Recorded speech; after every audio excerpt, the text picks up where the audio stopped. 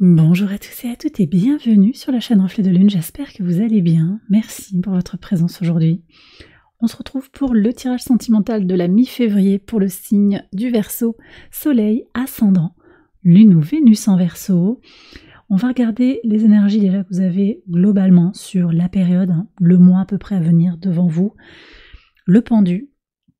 Alors ce pendu nous, nous parle de comment vous, vous êtes peut-être dans une énergie d'attente, de prendre patience et également de faire le point sur une situation. Ça peut être parce que vous êtes dans une situation de célibat, dans une situation de couple hein, où il y a des choses à régler, où la situation peut être plus ou moins compliquée, difficile et vous attendez quelque chose.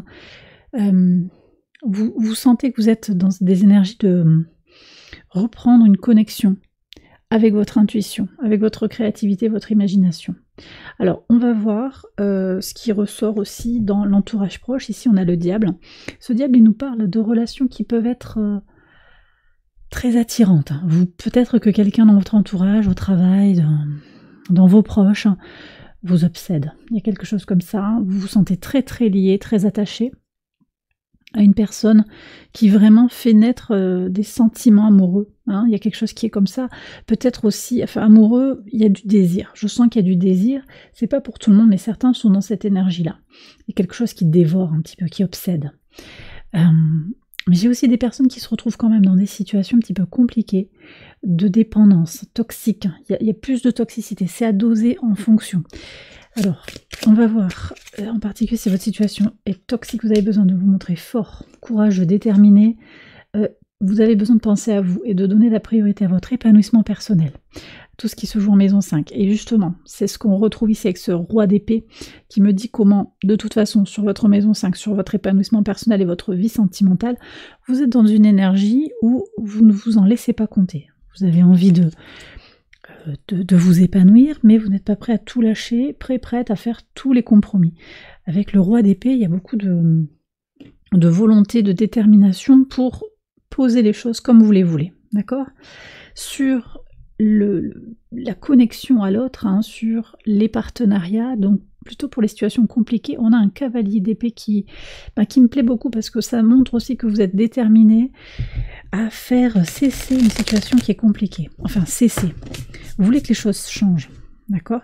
Alors peut-être aussi cette carte du pendu, elle nous parle de sacrifice. Peut-être que vous allez sacrifier une relation qui par ailleurs vous apporte des avantages, mais vous voyez bien que peut-être la situation est figée et c'est pas ok. Donc vous allez peut-être mettre un ultimatum, couper un petit peu euh, les liens, mettre un peu de distance pour y voir plus clair. Vous revenez un petit peu en arrière par rapport à ce qui a déjà été vécu et vous voyez bien que voilà, vous faites le point avec l'autre ou sans l'autre, hein, d'ailleurs s'il n'est pas disponible, il ou elle. Et puis vous tirez les conclusions qui s'imposent. Donc beaucoup de détermination quand même malgré ce pendu qui, a l'air de dire un petit peu que les choses n'avancent pas. Je pense qu'il y a des décisions qui se prennent aussi dans la tête. Alors je vais recouvrir, je vais recouvrir chaque maison avec le tarot. Qu'est-ce qu'on a ici? Carte du jugement. Il y a des prises de conscience et des grosses transformations hein, pour vous euh, sur le rapport à l'autre, sur cette autre personne hein, qui, entre dans votre vie, là, qui peut-être attiré vos sentiments, attisé vos sentiments amoureux, qui a attiré votre œil. Il y a une prise de conscience par rapport au type de personne que vous souhaitez attirer dans votre vie. Ok. Oui. Et dans votre vie sentimentale, on voit qu'il y a un choix aussi qui est à faire. Alors moi, je sens quand même qu'il y a l'amour qui vient vers vous aussi. Euh, le fait d'être droit dans vos bottes, ça dépend un petit peu de votre situation. Le fait de savoir où vous allez, ça vous permet aussi d'attirer l'amour romantique à vous. Et dans les situations difficiles, on a le 8 de denier. Ouais. Donc en fait, votre énergie de travail, votre approche claire, euh, et progressive et analytique en fait de la situation vous permet de décortiquer point par point les difficultés, les obstacles et les perspectives d'évolution. Donc on sort un petit peu de la passion dévorante, de la passion qui serait un petit peu déraisonnable pour aller vers quelque chose de clair, plus clair dans sa tête, dire ok bon, voilà, moi quand je te vois, euh, chaque fois que qu'on se voit, je mets deux jours à m'en remettre, hein, je perds du poids, je me sens fatiguée, je suis plus efficace.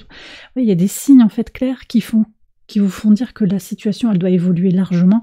elle doit s'arrêter ou évoluer. Et en tout cas, c'est ça qui va vous pousser aussi, par cette vision claire, hein, très claire des choses, qui va vous pousser aussi à, dire à l'autre qu'il y a une difficulté.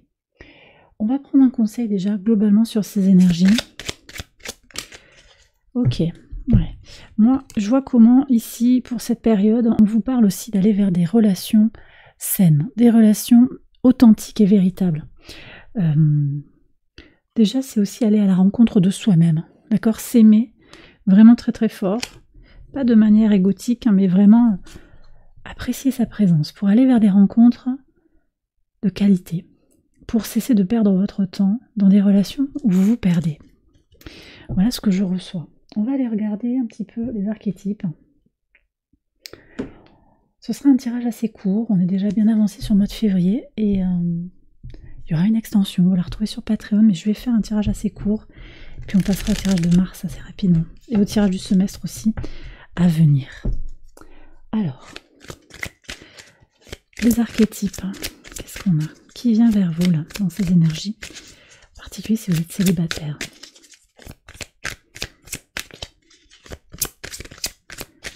Alors, c'est difficile hein, pour vous d'aller à la rencontre de quelqu'un, j'ai l'impression. Euh, c'est comme si on me disait, il a pas, comme il n'y a pas foule il n'y a pas foule, ou alors il n'y a pas beaucoup de monde qui, qui vraiment euh, pourrait vous convenir. Qu'est-ce qu'on a? Cette coupe, j'ai un signe d'eau là, j'ai un scorpion, poisson cancer. C'est quelqu'un qui vient de se séparer, qui a un grand cœur, qui a envie de donner des choses, hein, qui a vraiment beaucoup d'amour à donner, qui a été trahi. Alors, c'est quelqu'un qui a peut-être souffert, ouais, 10 d'épée. Ça dépend. J'ai des gens certains ont fait leur deuil, même si la relation, la rupture, elle est, récente. Euh, j'ai peut-être des gens quand même qui ont. Alors, certains ont bien fait leur deuil, ils sont passés à autre chose et ont vraiment ce grand cœur ouvert. Et il y a ce potentiel pour vraiment vous, apporter ce dont vous avez besoin. Beaucoup de sentiments, beaucoup de bienveillance, hein, beaucoup de douceur. Mais j'ai des gens aussi qui vont être dans des cycles encore qui ne sont pas terminés, donc prudence. Hein. Attention à cette personne-là, c'est peut-être un séducteur, une séductrice qui a des choses à régler, peut-être vis-à-vis d'une ex, vis-à-vis d'un ex. Hein. Attention à pas être le punching ball de cette personne. On va regarder les archétypes pour la situation compliquée. Alors, j'ai l'addict. Donc, j'ai des gens qui consomment, euh, qui fument, qui fument, qui boivent, consommation de sexe, pornographie, il y, a tout ça c'est peut-être une personne qui est avec vous à moitié. Ce diable aussi, c'est peut-être un collègue, une collègue hein, avec qui vous êtes de temps à autre. J'ai quelqu'un qui, euh, qui défend un peu tout le monde. Euh, ça peut être quelqu'un qui est très euh, axé sur son physique, son corps, sa forme, qui est un peu obsédé par son bien-être à lui, à elle. je ne sais pas s'il y a beaucoup de place aussi pour l'imperfection physique, c'est quand même à prendre en compte parce que si cette personne elle est un petit peu centrée sur elle, elle peut être très exigeante vis-à-vis de vous. Je ne sais pas où vous en êtes. On va prendre un conseil sur ces énergies-là. Oui, il y a de l'enfumage, a de la confusion, les messages sont pas clairs. Moi, j'ai vraiment, voilà, j'ai vraiment des, situations où il va falloir s'aimer, se donner la priorité, trancher, couper, prendre une décision, pour certains dans le couple, il est, temps de prendre des décisions et euh, au moins pour soi-même, émotionnellement, psychologiquement, se défaire de la toxicité de la personne. Ça ne veut pas forcément dire la quitter, il y a quelque chose à libérer parce que ça ne peut pas continuer comme ça. Il y a un choix à faire hein, aussi. Il y a un choix à faire sur votre vie sentimentale et on retombe sur les énergies de la Vierge qu'on avait ici avec le Soleil en Vierge, le 8 de denier. Donc Prenez le temps d'analyser la situation par rapport à votre bien-être, par rapport à votre spiritualité aussi, par rapport à votre vérité intérieure. Ok? Et eh bien voilà les versos, j'ai terminé votre tirage, j'espère qu'il vous a guidé. Si c'est le cas, je vous invite à liker la vidéo et à vous abonner si vous ne l'avez pas encore fait. Vous pouvez également aller voir les autres vidéos de cette série pour votre ascendant, votre lune ou votre Vénus pour compléter les messages. Je vous souhaite une excellente période, je vous embrasse bien fort et je vous dis à très bientôt pour les prochaines vidéos. Bye bye